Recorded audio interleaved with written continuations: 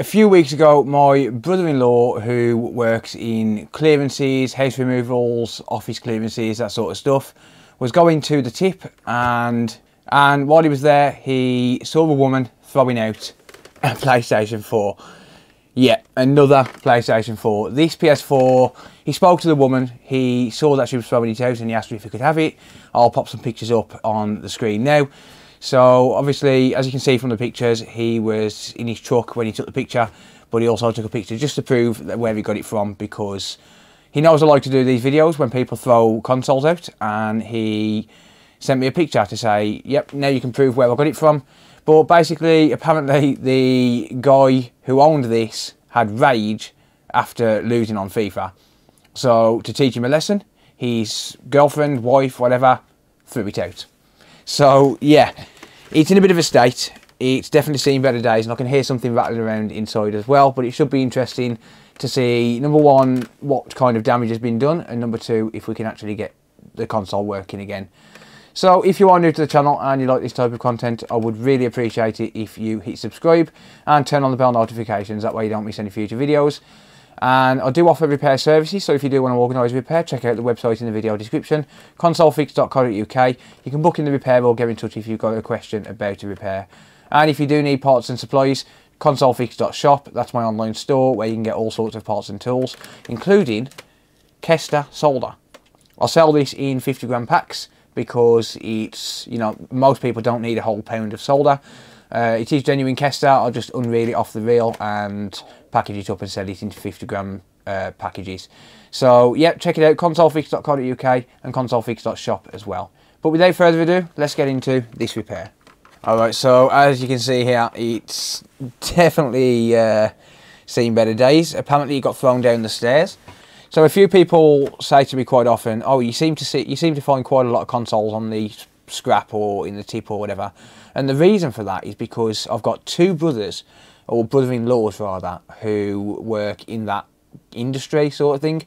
So my twin sister's boyfriend is a scrapman, so he occasionally finds consoles.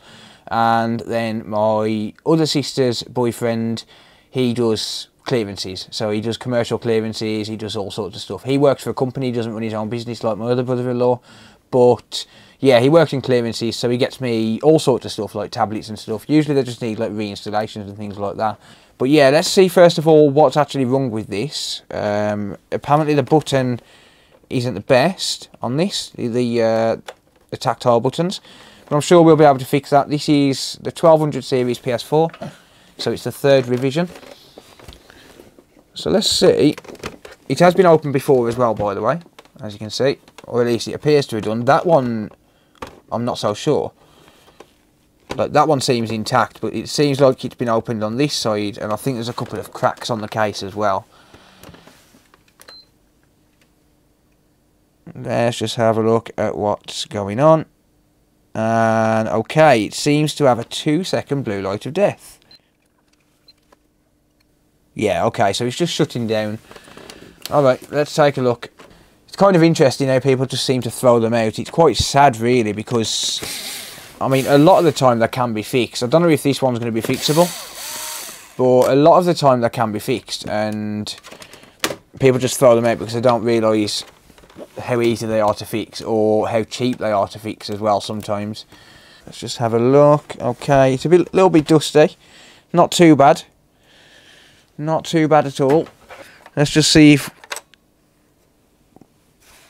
whatever's rattling around inside falls out. No. There's definitely something in there though. So if this has been thrown down the stairs, it does stand a chance that it could have a damaged power supply. When these take a big impact, like because that can that can withstand normally these can withstand you know like a small drop or something you know, if you knock it off your um, television stand or knock it out of your media centre or whatever, it can take a little bit of an impact most of the time, but then it can't take the bigger impact. And what can happen, okay, there's nothing rattling around in there, but what can happen is it can knock some of the components off in the power supply. So that's always a possibility. But I think first and foremost, we need to figure out what the hell is rattling around. Okay, So there's that. Right, so I wonder what it is that's rattling around. I think he's probably under the case.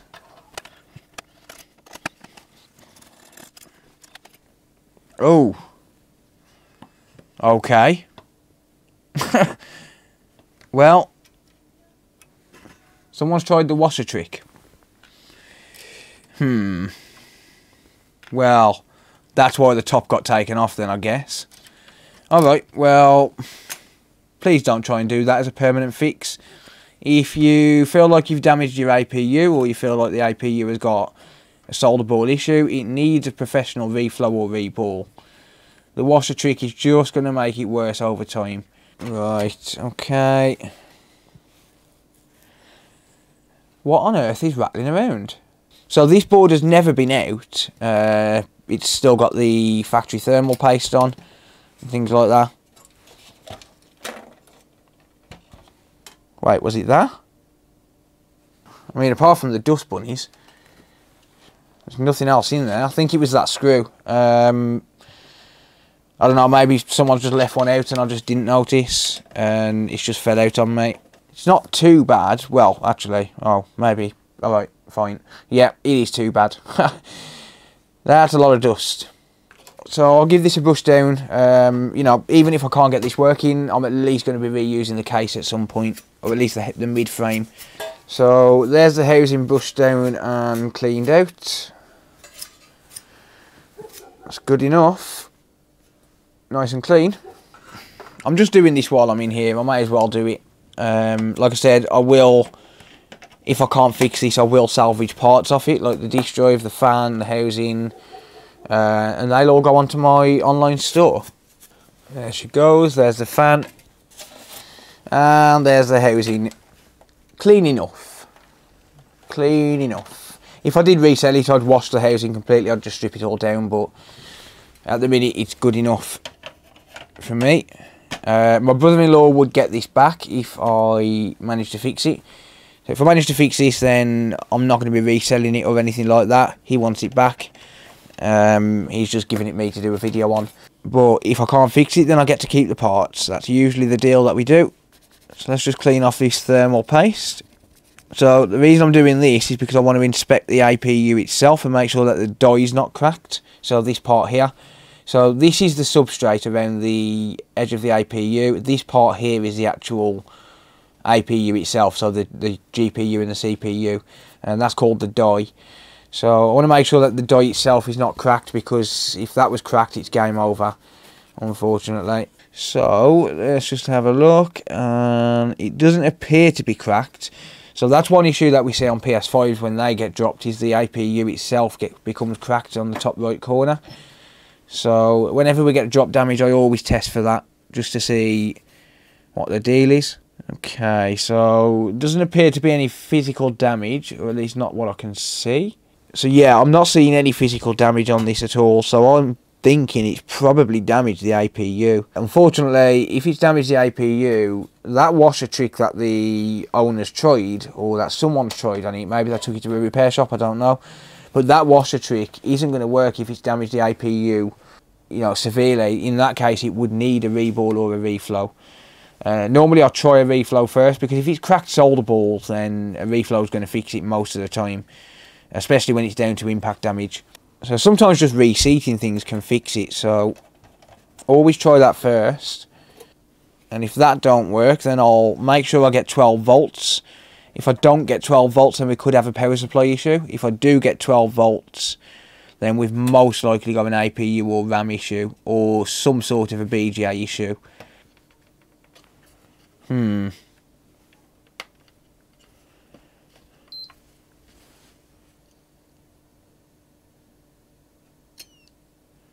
And no. Okay, so that didn't fix it. Let's just try it without the hard drive in, just in case the hard drive's damaged. The fan does try and fire up. But yeah, it's a two second blue light of death. Okay. Right. So do we get 12 volts from the power supply? That's going to be my next question. Right, that's grounded. Do we get 12 volts? We do. So we do get an initial 12 volt. And then when it shuts off, it, uh, it drains it, obviously. But, yeah, that's telling me that there's most likely an APU issue here. Because we get 12 volts, which means it shouldn't be a power supply issue. It's very unlikely that it's going to be a Southbridge issue. So the Southbridge is responsible for some of the power rails, but it's doubtful that it's going to be that because the fan does attempt to fire up and it shuts off after two seconds. So the two second blue light of death, which is what this is commonly known as, is normally caused by one of two things. It's normally caused by a power supply issue or it's normally caused by an APU issue where the contacts on the APU, the solder balls that contact between the APU and the board become either cracked or cracked or warped or something like that. Let's see if we get anything with the thermal camera. So let's see if anything actually fires up at all. That could give us an indicator as to what's wrong. By the way, people keep people keep asking me what model thermal camera this is. It's a UNI-T UTI 712S. It's a pretty good thermal camera. IP54 rated waterproof or water resistant. Um, half decent resolution. Not the best, but certainly not the worst either. Let's just see what happens. Okay, so it would appear that not even the RAM is turning on. And I believe the APU needs to turn on before the RAM. So we're not getting any heat spot from the RAM at all does my okay my disk drive appears to turn on Southbridge is located just here. And my Southbridge is turning on. My RAM isn't. So the RAM and what appears to be the APU none of that is turning on. So I think this is most likely an APU solder ball issue because of impact. I wouldn't normally just go for reflowing and uh, reballing the APU and things like that, but I think in this case it does warrant it. And the reason for that is because it does have apparent, well, according to my brother-in-law and according to the woman who was dumping it, it does have impact damage. So, yeah, it's a fairly common thing.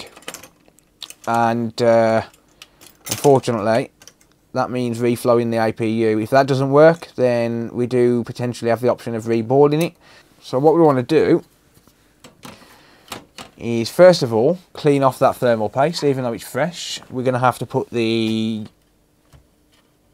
motherboard onto the BGA workstation and that means that we're going to have to put a lot of heat in this one specific area. So BGA workstation it's essentially a massive infrared heat gun. And it's going to evenly heat up the area and allow me to work with a large chip such as this one. You can't do this with hot air at all so what I'm going to be doing is heating the chip up until the solder balls underneath the chip melt and then nudging it a little bit, reform those solder balls and then let it cool down and once it's cooled down I'll power it on and see if it powers on. If it doesn't power on then like I said I have the option to reball the APU as well. That is always an option. So what I'll do is I'll add some flux. So this is going to help the solder to flow and prevent any kind of oxidation. I'm going to add flux on all four sides. I use Kingbo RMA218 by the way. Okay, there we go. So what I'm going to do, I'm going to set up my camera so as it's on the BGA workstation and then I will set up the profile, start the process and we'll reflow this APU and see if that fixes the issue. I know it does seem like I'm just jumping straight to reflowing the APU, but in this case, like I said, I do feel like it's warranted because of the impact damage. Right, so you'll have to excuse the quality of audio change and the video change as well. I've got to use my phone for this because I don't have a camera set up over here. But this is my BGA machine. This is an ACHI IR Pro SC and it's a professional rework station and this essentially allows me to use infrared instead of hot air and safely reflow chips or remove big chips as well. So It's a very expensive machine, but it is well worth it. Uh, this cost me about £500, but they're worth about a thousand. I bought this used, but it's a very good, very decent machine. Uh, but basically, what this is going to do, we've got two dials here, or two clocks, and this left clock here is for the top plate. So that's for this one just here, and that's an infrared heater. That that allows me to focus heat directly onto a specific area. And then this clock down here is for the bottom plate which is these ones here. So this top plate's actually been modified hence the uh, the bottom job wires. But this is a Elstein plate so it's the more expensive plate. Really high quality really good stuff. But uh, essentially this one is for the temperature of the top plate. So that's the current temperature and that's the temperature that it wants to be at so it's obviously not active at the minute. And then this one it's the same that's the current temperature that's the temperature I want it set at. So I've got the bottom plate set at 220 degrees Celsius. What that'll do is when I press start in a minute this bottom plate will heat up until it hits 220 Celsius and then the top plate will kick in it doesn't kick in exactly at the, the right time but I've got the profile dialed in so as it kicks in in seconds roughly around about when this bottom plate is fully heated. So that will distribute heat all across the board and it will heat it up nice and slow. But then the top plate will kick in and it will focus directly on this section here. So if we move this out of the way, you'll see I've got it directly above the APU. So it will focus heat directly on there. And then when it's ready, I'll come in with a pair of tweezers and just give the chip a tap and nudge the chip so as the solder balls basically reflow, realign themselves and hopefully fix this issue. So let's just hit start. And you'll see that this one here will, well there's a timer here where it's going to kick in. So it'll kick in in like 10 seconds time. And then you'll see this temperature here. Oh, actually, that's already started. Alright then. So I've got this one set at 0 degrees Celsius for now. And the reason for that is because I don't want this top plate to kick in until there's heat evenly distributed across the entire board. So I'll have it for the first, I think it's 240 seconds or so on 0 degrees Celsius and then it'll go to, uh, I think they call it a partition. Then it'll kick into partition 1 and essentially then that'll go to 100 degrees Celsius. So then the top plate will kick into 100 degrees, or it'll heat up to 100 degrees Celsius. Uh, it'll hold for like 30 seconds, and then it'll go to partition 2. It'll go to 140, hold for 20 seconds or so, um, and then it'll just slowly increase to 160, 180, 200 and 220 but it never has to get to 220 it's just in case it's extra cold inside the workshop but it never actually has to get to 220 degrees Celsius you'll notice I've took the battery out because I don't want that to go boom but other than that, it's pretty much just doing its thing, and I've just got to wait for five minutes, seven minutes, something like that in total for this to actually go through the profile. So this is a predefined profile, and I set this a long time ago. I've never had to change it because the temperature is pretty regulated in here. It's generally around about 17 to 18 degrees Celsius, and it just doesn't have to change. I don't use the fans until I've taken the board off because otherwise it's just going to blow heat away and it's just going to waste electricity.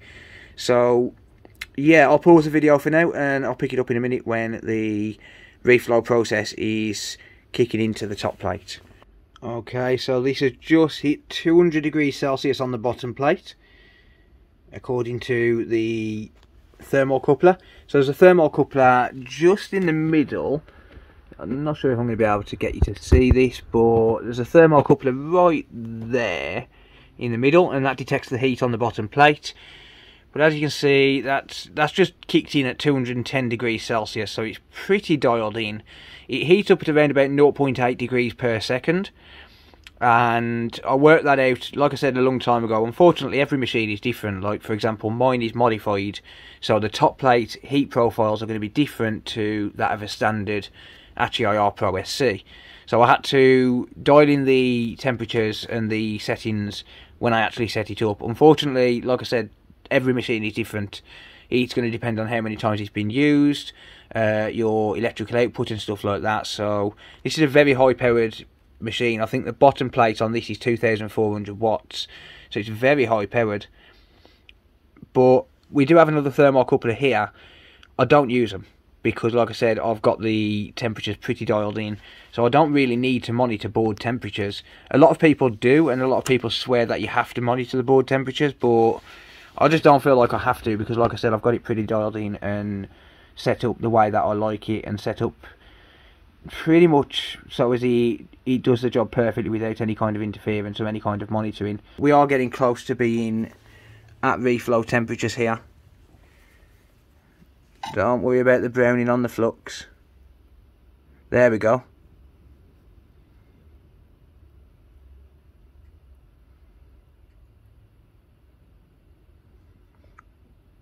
So you see the chip moving.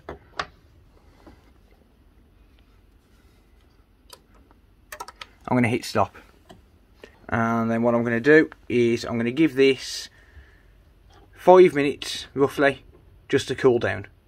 Okay, so like I said earlier on, you'll have to excuse the shakiness of that video, uh, the clip that I've just recorded. I had to do that on my phone because, yeah, I haven't got a camera set up over there. I have got another camera, but I haven't set it up. So what we want to do now is, while the board is still warm, so you notice I've, I've picked it up with a cloth and what we want to do now is while the board is still warm I want to clean off this flux because I don't want to leave that on the board. It's going to be a lot easier to clean off when the board is warm. So I'm going to do that now using some isopropyl alcohol. So what I'll do is very carefully because the board is still quite warm. I'll just move that to one side and I'm just going to soak my cloth in some isopropyl alcohol, 99.9%. .9%. So I'm just going to literally soak the cloth like that. There you go. I know it's a dirty cloth. It's fine. I literally just use it for this. This might sizzle a little bit. So I'm just going to give it a wipe over on the edges. It's not going to hurt the board if I leave flux there but yeah it's not exactly a very good practice. I can always ultrasonic the board once I'm done if it works. I could always put the board in the ultrasonic cleaner but it's a lot easier just to do it like this. You know, give it a nice good scrub with IPA. And I can pour a little bit on there as well now it's cooled down. You don't really want to pour isopropyl alcohol on the board or on the APU directly while it's still scorching hot because you could cause thermal shock and then you're right back to square one. So just wait for it to cool down a little bit first. There we go that's nice and clean. So I'll add some fresh thermal paste now. I can't see any kind of popcorning on the chip, so there's no delamination of the chip or anything like that, so that's good. Just add some fresh paste there. And I'm going to leave that thermal paste there, it's not a big deal. It's fresh paste anyway. So, not a major issue. I have left the, uh, the plate here off the board as well, but again, that's fine for now yeah, this is what I mean about the board not quite fitting in there snug. Like it's a little bit, it's a little bit tight, and that's not what she said apparently. Pop what we need in, and that essentially is going to be just the power supply. Because if this chip needs a rebuild, then I don't want to put it back together fully.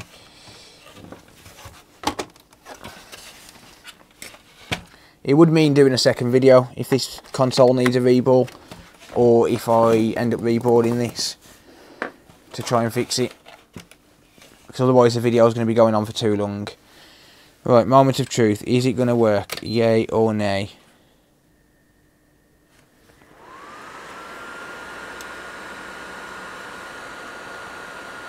The answer's yay. The answer's yay. Alright, is it going to boot up? That's the question. So, I need to hold this here first for a minute. We haven't even got a CMOS battery in here. Or a CR20, 2032. I'll just call them CMOS batteries. But that's pairing on. Okay, that's just rebooted. That's going to go into safe mode because there's no hard drive. And white light, baby, let's go. That's what I'm talking about. Alright, let's shut it down. Nope, maybe not. It's not going to have it. Let's just shut it down like that. Okay, and let's get it back together properly. Okay, so I've got the USB cover there. And I've got a brand new, well, no, it's not a brand new one, but that's actually out of a PS5, so it's fairly new. Uh, CR2032.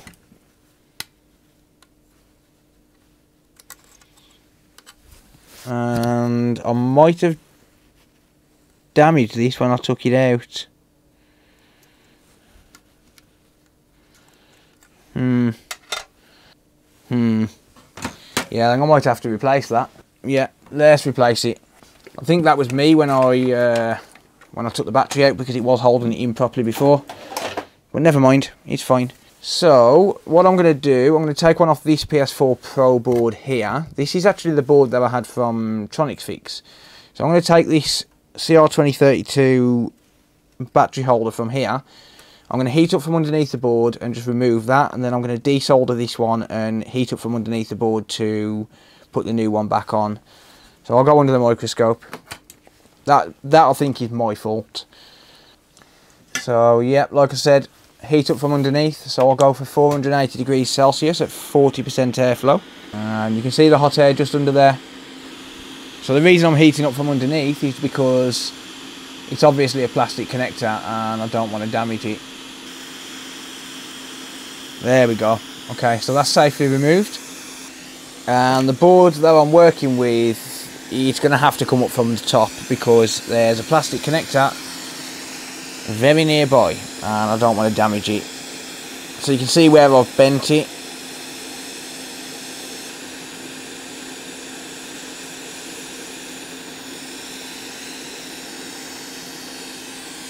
There you go.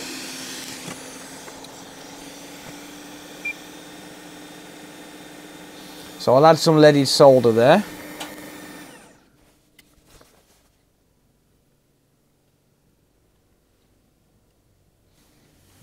Do a partial solder there.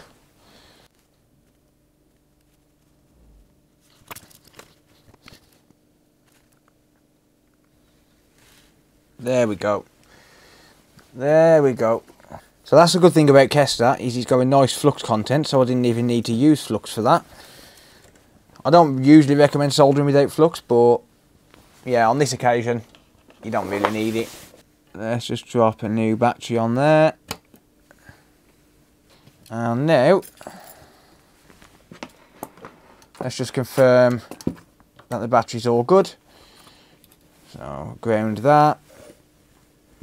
And yep, 3.02 volts, that's absolutely fine. Nothing at all wrong there whatsoever.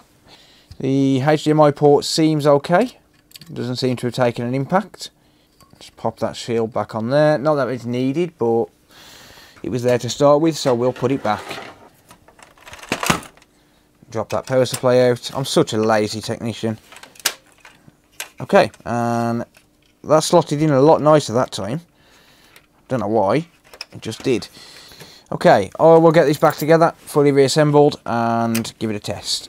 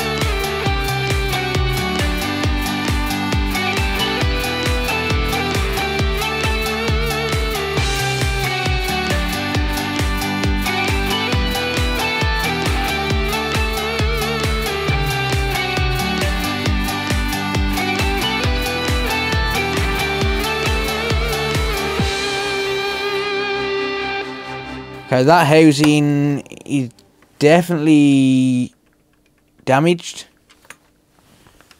Might help if I switched it on. Okay, turns on. So it needs a housing, uh, or at least it needs the top plate replacing because, yeah, that's definitely damaged. It's kind of like, you can see it there where it's indented, so that needs replacing. Uh, so I'm not going to bother cleaning this or anything like that. You know, this isn't a restoration video, it's a repair video. So I'm not going to bother cleaning it, you know, the housing and stuff. You probably could clean that housing up, but yeah, I'll probably just replace the housing. I just tested the disk drive, there's no disk in there. It's a bit of a shame, but oh well. And wow, it's on 8.01. That's an exploitable console and that means this is worth more. That's brilliant. So this being on firmware version 8.01, that means that someone can jailbreak it so as they can install um, third-party apps and stuff like that. I'm not going to get into those details, that's not what my channel's about. But essentially it means that this console can be hacked. But it's worth a lot more being on 8.01. Anything below firmware version 9.0 is exploitable. And uh, yeah, that's absolutely insane. 8.01 and it works perfect. Or at least so far. Let's just make sure it boots into the dashboard and whatnot and then uh, yeah, we'll call it good. So I'll press cancel. So when it's shut down I can restart it and because I've cancelled safe mode as long as the hard drive is okay, it should boot back into the dashboard. It's just because I booted it up without a hard drive the first time. Let's just check it out. Uh, there we go. Okay, was it FIFA Rage or was it Rocket League? Hmm. Well, it connects the controller up. I'm not going to connect to the internet because this is exploitable. But it does pick up my Wi-Fi. And it's obviously working on wireless controllers as well. So just for the ultimate troll, does a test disk work? Takes a disc, nice and smooth. This disc is absolutely filthy. No, that's not going to boot up with that disc. Okay, struggling to load the disc, but my disc is pretty scratched. Okay, there we go. That's actually picked up the disc. I did just have to clean it because my disc was dirty. But yeah, there we go. FIFA 16. And that's working fine. Yes. Another one, literally saved from the dump. Literally this time. So, yeah, that's going to be for this video. This console appeared to have impact damage, which obviously affected the APU. So it might have seemed like I went straight for the APU on a guess, and you could be right there because unfortunately there's no way to really test that. I could have potentially connected to the Syscon, um, that's way too complicated and to be honest I don't really know what I'm doing with the Syscon but based on my own experience when we've got impact damage, when it's bad impact damage, the APU is at fault and it's always the solder balls that are at fault. They become cracked because of the impact, the amount of pressure that's actually on the APU and then when it suddenly gets a, a, big knock it cracks the APU solder balls and it results in the console not being able to power up because it can't communicate with the rest of the system. So yeah, giving that a quick reflow and it should be a long-term fix. I get a lot of people asking how long-term it actually is and I probably get 1 in 10 come back when I do a reflow on it. When the issue is down to the GPU itself and it's actually an internal issue inside the chip, then no, a reflow is not viable, it's not a fix.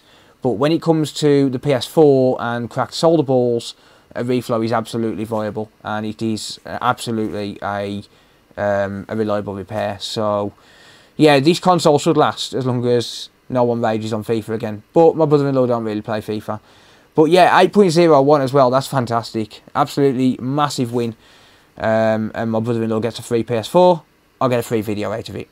So that's going to be for this video. Let me know what you think down in the comments down below. What would you do if your significant other threw your console down the stairs? Because I wouldn't be happy. I wouldn't be happy. That is a very risky move for someone to do. We all know how guys can get attached to the consoles. It's a very risky move. It's definitely an argument starter. But hey ho, such is life. My brother-in-law will look after this. It'll go in his collection. Uh, I'm sure he'll be happy when I give him the good news. So, with that being said, that's going to be it for now. Thank you very much for watching. If you do want to organise a repair, consolefix.co.uk, you can book it in or you can get in touch if you've got a question about a repair. If you need any parts and tools, consolefix.shop. And if you do want to support the channel in any way, then head over to Twitch and link an Amazon Prime account to Twitch, and then you can subscribe to me on Twitch, absolutely free. How many times can I say Twitch in this video?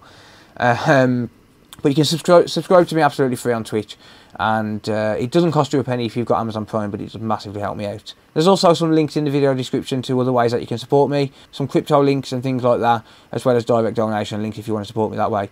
Thank you very much for watching. Check out the video that's going to pop up on the screen now, and I'll see you all in the next one. Bye for now.